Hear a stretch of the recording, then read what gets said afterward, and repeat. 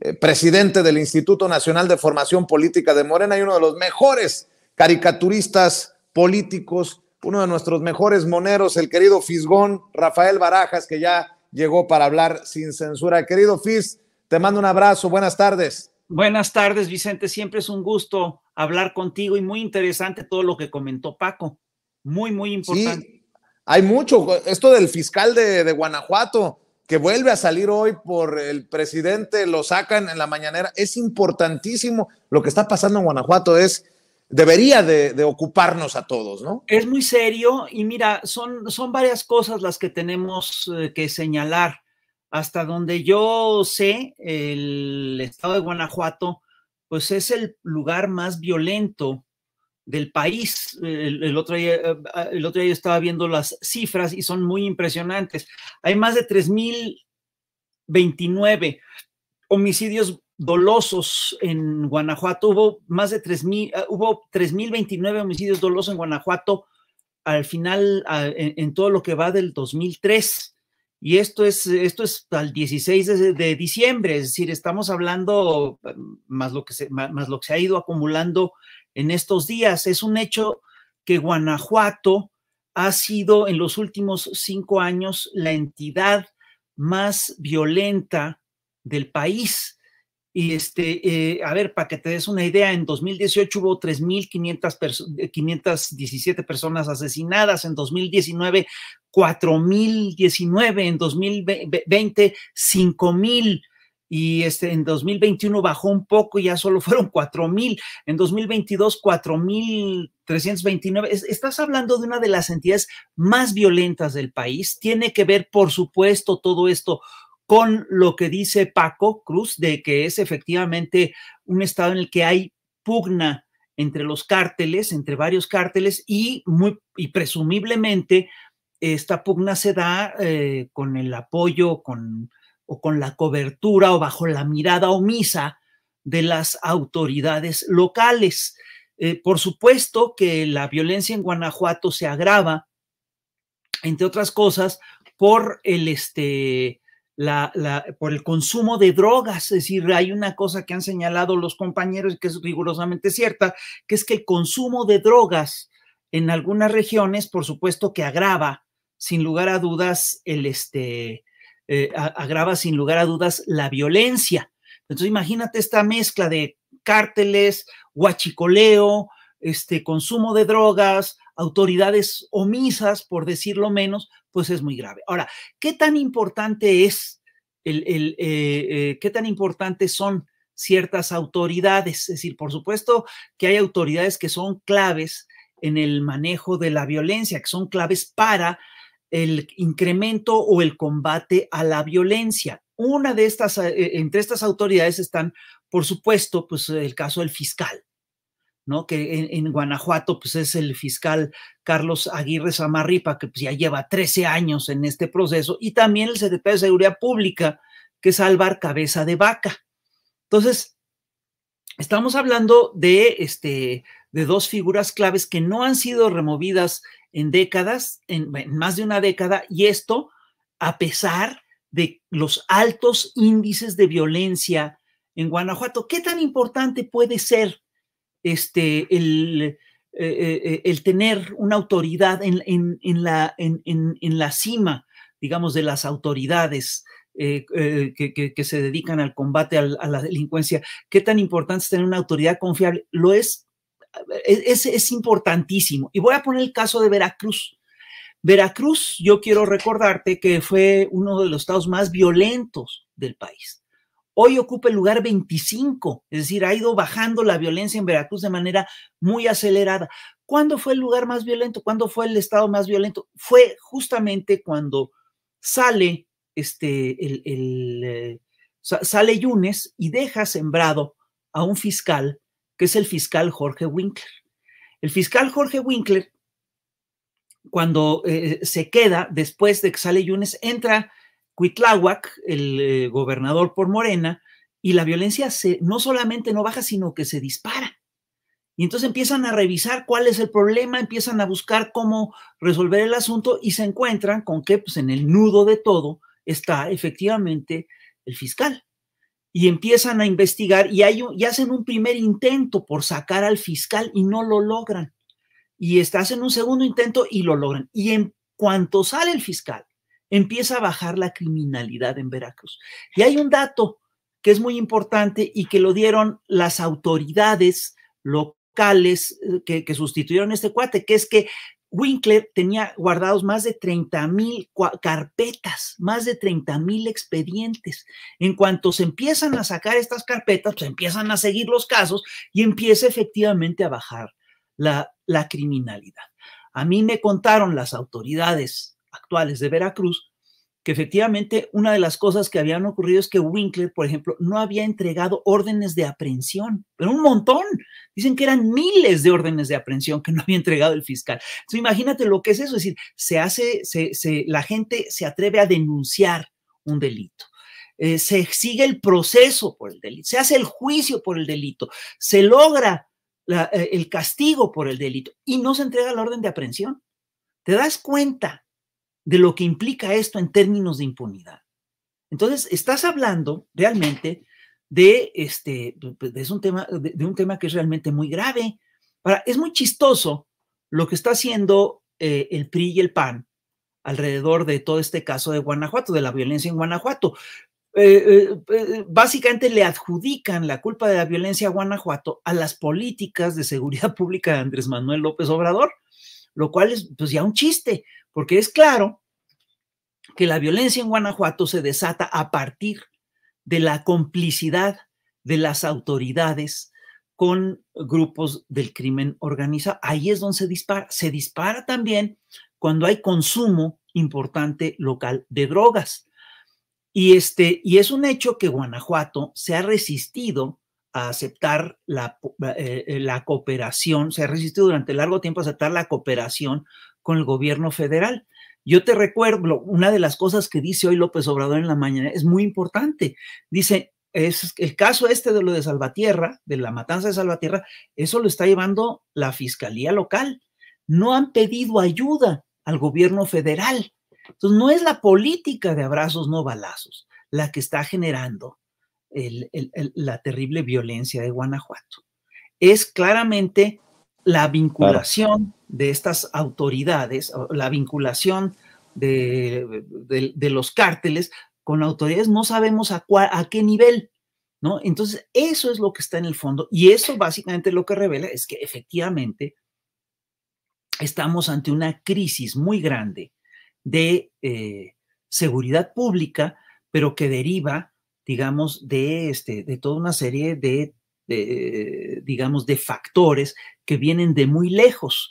Cuando, eh, y, voy a hacer, te voy a plantear un tema así como muy elemental.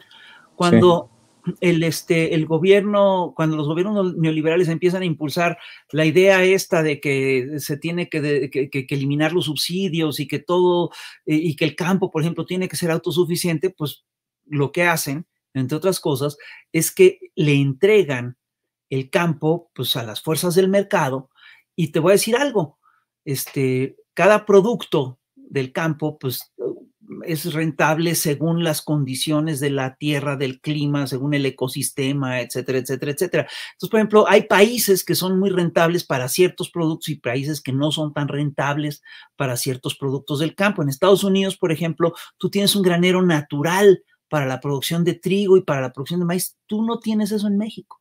México puede ser competitivo en solo ciertos productos, en chiles, en papaya, etcétera, etcétera, etcétera. Entonces, pero, pero ¿sabes qué productos siempre son rentables? En términos de pues los, los que son ilegales.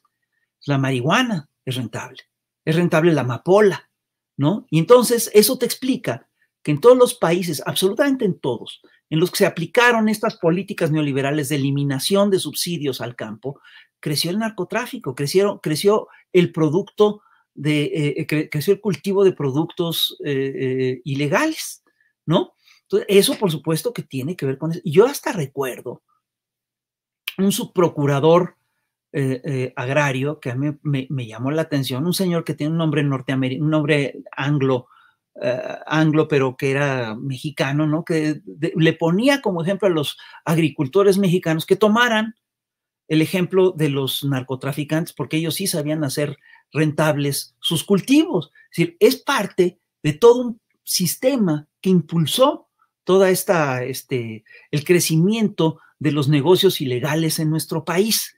Y esto, por supuesto, que funciona claramente, e, es decir, se potencia cuando tú tienes este, autoridades que son omisas o que, o, que, o, que, son ineficientes, por decirlo menos.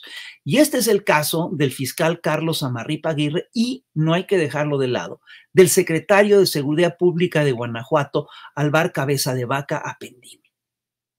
Ese es el cabeza de vaca de los cabeza de vaca o a ver, ahí sí me agarraste en curva. Pues eh, se llama Alvar Cabeza de Vaca Apendini. Es posible, es decir, alguien me comentó, pero yo no lo, no lo he podido este, documentar bien, no aparece tan fácilmente en las redes, pero alguien me comentó que tenía algún parentesco con, con el exgobernador de Tamaulipas, pero de esto esto yo sí te pediría que, lo, que, que se corroborara, ¿no? Es decir, no sé si es primo o pariente, pero hay que habría, habría que corroborarlo, ¿no? Pero este. Nosotros nos encargamos. Estás hablando de un tema delicado, ¿no? Posiblemente no tenga parentesco, pero pues habría que, eso, eso, es algo que sí tenemos que revisar, ¿no? Entonces, pues, sí es un problema muy serio. Oye, oye, Fis, y, y en otros temas, ¿qué ardidos andan con lo del tren Maya, ¿no? Estaba viendo al presidente hoy y, creo que con justa razón hace referencia, ¿no? Dice, ahí están ahora con lo del tren Maya, enojadísimos, que no tiene clima, que van dormidos. Bueno, pues yo también cuando me subo en un tren en Estados Unidos me quedo dormido y no por eso dejo de apreciar el, el gran paisaje, lo emocionante que me resulta ir por la costa hacia arriba, por, por California. Pero bueno, eh, estaba viendo este comunicado de Sélvame del tren, este, pues no sé qué sea, conglomerado, grupo de supuestos eh, ambientalistas que en algún momento encabezó en sus esfuerzos en redes sociales el comediante Eugenio Derbez, que dice, no estamos en contra del progreso, por el contrario, consideramos que un desarrollo sostenible en la península es una gran oportunidad de justicia social, reactivación económica y mejora de infraestructura. Eso se puede lograr con pleno respeto al medio ambiente. Y como tiene fecha del día de la inauguración, dice, hoy no se inaugura un tren, se muestra una mega obra a medias, ilegal, sin instalaciones terminadas, sin... Bueno, si esto supurara, eh, supuraría yo creo tanta vitacilina que se han tenido que untar, mi querido eh, Fis, pero bueno, Ahí está el tren Maya, le duela a quien le duela, le pese a quien le pese. A ver si no nos salen con una torre torcida, un cerro en medio de la, del tren, de las vías. Ya ves cómo le hicieron con el aeropuerto Felipe Ángeles. Dicen que el tren es militar, que no es maya. Digo, ahora sí que de veras eh, estamos ante una, es decir, vamos, hay ya un grado de irracionalidad muy importante en estas observaciones. Yo vi también en redes sociales una enorme crítica alrededor del menú del tren Maya, que estaba escrito en una tipografía fea, que era la Comic Sans Serif. Es decir, ¿de qué están hablando? ¿De veras? De, veras son las críticas que están haciendo? Ese es el nivel de crítica que se está haciendo. yo te recuerdo que en otros sexenios las críticas se, centraban alrededor de temas mucho más serios, a través de que si se estaba entregando el país a las multinacionales extranjeras, se centraban alrededor de que si se estaba este, eh, eh, rompiendo el pacto social plasmado en la constitución del 17, se centraban alrededor de si se estaban favoreciendo los negocios ilegales, que ahora las críticas sean que no les gusta la tipografía del menú, a mí me parece ya de una frivolidad impresionante, ¿no? Y fíjate, el caso de los trenes, de los ferrocarriles en México, es un caso que es emblemático y que tiene que ver con nuestra historia. En México, durante el porfir, eh, en México, eh, eh, el, crecimiento, la primera, un, un proceso de industrialización importante se da justamente en el periodo del porfiriato, cuando en tiempos de Porfirio Díaz se crece la red ferroviaria como nunca antes.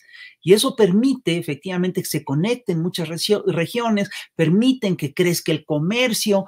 Esto es una señal de industrialización muy importante y los ferrocarriles fueron, sin lugar a dudas, claves para las comunicaciones de toda la nación a finales del siglo XIX y a principios del siglo XX. Todavía la Revolución Mexicana se hizo en ferrocarril. La Revolución Mexicana se hizo justamente en vías de ferrocarril y hay batallas que se libran alrededor de estrategias que tienen que ver con el ferrocarril. Yo recuerdo esta historia increíble de, este, de Francisco Villa, que estaba, creo yo, en, la zona de Zacatecas y que decide tomar este, una, creo que es Chihuahua, ¿no? Y entonces decide y, agarra un ferrocarril con tropas de élite y los hace irse retrocediendo, avisando que se van echando, y de repente salen los billetes y toman la ciudad eh, eh, eh, en un Santiago. Bueno, son estrategias, son leyendas que giran alrededor del ferrocarril mexicano. Y es un hecho que en la era neoliberal, durante la gestión de Ernesto Cedillo, se privatizaron los ferrocarriles. Se privatizaron los ferrocarriles, se decidió que los ferrocarriles de pasajeros no eran negocio, mm, prácticamente no son negocio en ninguna parte del planeta, ¿no? Es decir, son, suelen ser transportes que son apoyados o subsidiados por los gobiernos, ¿no? Entonces decidieron dejar solo lo que era rentable, que son los ferrocarriles de cargas, y resulta que Ernesto Cedillo, que hace, que hace estos procedimientos, después se va a trabajar para una multinacional ferrocarrilera norteamericana a la que favoreció durante su gestión. Estás hablando de una cosa muy grave, es decir, la, el, el, hecho, es decir, los ferrocarriles fueron una parte importante del sustento eh, de comunicaciones e industrial de la nación mexicana desde finales del porfiriato hasta principios, hasta ya entrado el siglo XX, hasta, hasta más allá de la mitad del siglo XX, y se desmantelan en la era neoliberal y perdón, el regreso de los ferrocarriles es una muy buena noticia para el país. Ahorita se está efectivamente haciendo todo el trama del tren Maya, ¿no? Toda, toda, la ruta del tren Maya. Es una ruta muy importante, ¿no? Yo creo que va a beneficiar a la gente de la región. La gente, yo, estuve en el sureste eh, eh, a, a, finales del año pasado, a principios de este año, y la gente estaba encantada con el ferrocarril Maya.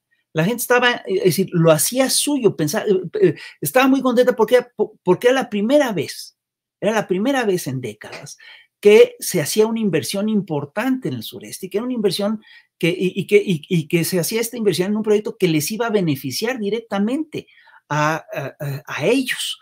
Entonces, este, bueno, a mí me parece verdaderamente inconcebible, es decir, me parece increíble toda esta retaíla de quejas que es que, que, real, que, no tiene ningún sustento.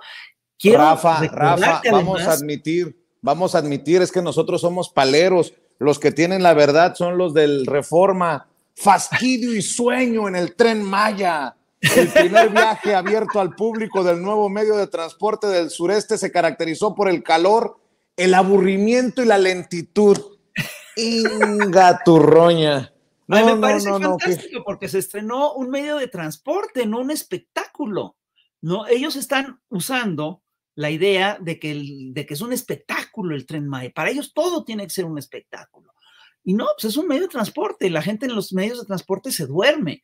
La, la gente en los medios de transporte, pues, eh, pues, pues vive, es decir, eh, no están ahí para, para, para, ver un show, están ahí para transportarse de un lugar al otro. Son, críticas verdaderamente frívolas, si tú te fijas, ¿no? En, ley, en, la, en la ley existe esa figura. Cuando se te pone una, eh, hay demandas que se desechan por frívolas. Yo estoy convencido de que estas quejas mediáticas, estas campañas mediáticas, nosotros los ciudadanos deberíamos desecharlas por frívolas. Porque hay todas de cosas son de fondo, ¿sí? que son mucho más importantes, y de eso no se habla. Que además te pongan como prueba de que el tren es aburrido, a gente durmiéndose en un tren me parece fantástico. Porque basta con que le cambies el encabezado para que adquiera otro sentido. Eh, eh, la, gente, la gente viajaba a gusto y el confort del tren Maya permite que todo el mundo se, eh, permite que la gente se tome su siesta, siesta en el tren Maya. Es decir, cambia totalmente el sentido. Aquí hay claramente un manejo mediático malintencionado. Oye, Rafa, y para avanzar en este diálogo siempre sin censura, ¿por qué no hablamos del modelo neoliberal? Yo sé que es un tema que te apasiona, este agotamiento del neoliberalismo, eh, sobre todo con casos eh, como el de Miley. Tú incluyes eh, a Xochil Gálvez, el caso de Chile y el referéndum. ¿Por qué no hablamos de esto? Claro que sí, mira, yo creo que todo, todo modelo económico tiene su momento de de, de, establecimiento, de auge y de declive. Y el modelo neoliberal, yo estoy convencido que ya llegó a un punto de declive que no tiene retorno. Y lo vemos, eh, es un modelo que ya se agotó. Todas las vías clásicas, todas las formas clásicas del neoliberalismo ya mostraron su, este, su ineficiencia a muchos niveles. Es un hecho que en América Latina, cuando llegó la ola progresista, cuando se establece la ola progresista, todos los países que entran a la primera oleada progresista tienen un auge económico muy importante. En cambio, los países que mantienen el modelo económico neoliberal o se estancan o registran un declive importante. Por supuesto que Estados Unidos fue el gran imperio, es el que recibe los grandes beneficios del proyecto de la implantación del modelo neoliberal en todo el planeta, pero eso aún en Estados Unidos ya empezó a decaer. En América Latina es muy claro lo que está ocurriendo. Eh, ¿Cuáles son las alternativas al modelo neoliberal? Es decir, eh, Argentina ya se salió de las lógicas neoliberales con Néstor Kirchner, le imponen a este, eh, sacan a Cristina Kirchner de la contienda para que este, y, llega Milei, se Milei dice, eh, promete en campaña no endeudar al país y endeuda al país de una manera brutal y arrastra al siguiente gobierno, que es el gobierno de Alberto Fernández, a un desastre. Es decir, eh, eh, por supuesto que Alberto Fernández manejó mal muchas cosas a mi modo de ver, ¿no? Pero los fondos buitres le imponen toda una serie de condiciones a Alberto Fernández, hace una mala gestión a Alberto Fernández. Los argentinos desesperados votan a mi ley que había prometido toda una serie de cosas, pero eh, eh, prometió no tocar a la gente, prometió que el costo lo iba a tener la casta política, etcétera, etcétera, etcétera, pero sí implanta un proyecto neoliberal que es absolutamente salvaje. Entonces, en su primer día de gestión, ley lo que hace es que dispara el precio, dispara el precio del dólar, dice que va a dolarizar la economía, pero no dice que en su primer día de gestión va a devaluar el peso a más del doble. Eh, eh, es una cosa impresionante, a más de la mitad, es una cosa muy impresionante. Quita nueve ministerios de golpe, manda a cientos de miles de personas a la calle, pero además hace una cosa que a mí me, me, me tiene muy sorprendido, que es que presenta un programa antipiqueteros que es eh, verdaderamente eh, el, colmo de la dictadura, ¿no? viva, la viva la libertad, carajo. Sí, pues viva la libertad de empresa y, lo, y, los argentinos se quedan con el carajo, ¿no? Entonces, fíjate lo que, lo que hicieron, que es muy grave. Es decir, este plan de, de represión, básicamente lo que se plantea es que le van a pasar los costes, que el Estado no va a pasar los costes de, los operativos represivos. Es decir, si te reprimen a ti, te van a dar tres trancazos, te van a dar unas, unas patas y esas luego te las van a cobrar. ¿Cuánto costó el operativo? Se los van a cobrar a los individuos y a las organizaciones políticas que impulsen las protestas, ¿no? Entonces, date cuenta que, que hay detrás de esto es la idea de querer hacer rentable, de querer hacer rentable la represión. A mí me parece verdaderamente increíble. Eso sí es una forma extrema, ¿sí? De las lógicas neoliberales. Y te voy a decir una cosa, eso, es decir, eso es lo que ofrece ya el neoliberalismo en América Latina. La radicalización del proyecto es mi ley. te recuerdo lo que, lo que dijo ayer. Ayer fue muy impresionante lo que ocurrió. Hubo una tragedia en Argentina, hubo vientos huracanados, se cayó una construcción, hubo 12 muertos, etc. Y llega mi ley a decirles a decirles que, eh, a los damnificados que utilicen sus propios recursos para resolver el problema. Es decir, ¿el Estado para qué sirve? El Estado sirve básicamente para que la gente, es decir, eh, eh, sirve básicamente para administrar ¿sí? el absoluto libre comercio. No sirve para proteger a la gente, sirve para que todo sea rentable, sirve, sirve para implantar una, la, rentabilidad como el valor máximo de la sociedad, a mí me parece verdaderamente una locura, me parece verdaderamente criminal. Y eso es ya lo que es el neoliberalismo en América Latina. Lo vimos con Chile. Fíjate, en Chile, Boric hizo toda una serie, cometió errores muy graves. Eh, eh, llega al gobierno en una oleada progresista muy importante y este, impulsa, lo hace mal, una constitución mucho más eh, progresista que la constitución pinochetista, pierde lastimosamente porque operan mal, no consensan, no resuelven, no, es decir, e, e, etcétera. Y, entonces la ultraderecha impulsa una constitución ultra neoliberal, ultra conservadora. Y el día de ayer, el pueblo de Chile la echó abajo.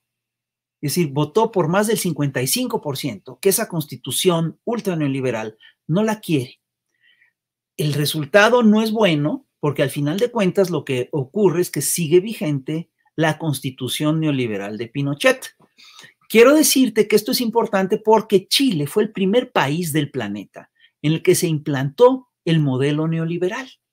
Y fíjate, este modelo neoliberal viene acompañado de un montón de cosas, viene acompañado de un modelo electoral, de un sistema electoral eh, eh, en el cual lo que impera es el dinero. Y eso es lo que estamos viendo aquí en México. Te recuerdo que Xochitl Galvez festejó por lo alto el triunfo de Milei en Argentina. Xochitl Galvez sacó un tuit diciendo que soplan vientos nuevos en América Latina y que está feliz por el triunfo de Milei. Bueno, yo sí quisiera que Xochitl Galvez me dijera qué opina de estas cosas, de las cosas que está haciendo actualmente el presidente de Argentina, ¿no? Si está de acuerdo en que se utilice el Estado, al Estado, ¿sí? para reprimir a la gente, que se utilice el Estado únicamente para proteger al gran capital, porque se subieron los precios, se congelaron los salarios, se mandó mucha gente a la calle. Es decir, es Argentina va a una situación verdaderamente terrible. Nosotros lo advertimos, dijimos, eh, eh, esto, esto va para mal. Se, se cumplió desde el primer día, estamos muy impresionados. Y Xochitl Galvez, ¿qué es lo que le ofrece al electorado mexicano? Si está con mi ley o no está con mi ley. ¿Y qué es lo que está haciendo en términos de campaña, en materia de campaña? Lo que está haciendo básicamente es una campaña sucia, ¿sí? Al estilo de las campañas que se hicieron contra López Obrador en 2006 y en 2012. A López Obrador lo acusaron de ser un peligro para México y hoy están acusando a Claudia Sheinbaum desde cuentas de Guatemala, desde cuentas de fuera de México. la están acusando básicamente de que va a destruir al país. Perdón, los que destruyeron a México fueron los señores neoliberales. El que está acabando de demoler Argentina. Es el, el ultra neoliberal de mi ley. ¿Qué nos ofrecen estos señores? Nos ofrecen una copia de, de, cosas que ya están. Xochitl Galvez, cuyo partido votó en contra de los eh, programas de bienestar, este, ahora nos dice que nos ofrecen programas de bienestar. Ah, mira, qué interesante, porque esos programas de bienestar los tenemos a pesar de ellos. Es decir, ¿qué garantías nos dan ellos? ¿Qué garantías nos dan el PAN y el PRI? de que van a sostener los programas, los, los, programas de bienestar, los apoyos a la gente. No nos dan absolutamente ninguna. Estos señores no tienen palabra, prometen lo que sea durante la campaña y eh, cuando ya llegan a gobierno, entran a saco y básicamente lo que hacen es apoyar a las minorías enriquecidas. Perdón, el modelo neoliberal está en una crisis global. Está en y fíjate, ejemplos de eso, es decir, mm, eh, mm, datos de que el modelo está en una crisis importante es lo que está ocurriendo en Argentina, lo que está ocurriendo en Chile, por supuesto, y lo que está ocurriendo en Ucrania y lo que está ocurriendo en Israel. El modelo y lo que, ah, perdón, y lo que está ocurriendo, supuesto, en Estados Unidos, donde muy probablemente vaya a ganar en la próxima elección Donald Trump. Pues estemos al pendiente, mi querido eh, Rafa. Como siempre es un placer eh, escuchar tus reflexiones, tu análisis y ojalá que eh, nos veamos muy pronto en otra oportunidad aquí en Sin Censura, querido Rafa. Yo te mando un abrazo. Igualmente. Cuídate. El maestro Rafael Barajas, el Fisgón, uno de los mejores caricaturistas con todo respeto para Hernández, Rafael, porque no se vayan a sentir eh, eh, eh, uno de los mejores caricaturistas de México y presidente del Instituto Nacional de Formación Política de Morena. Te mando un abrazo, Rafa. Claro que sí, más, más para allá. Cuídate, el Fisgón hablando con nosotros sin censura. Ya llegaron.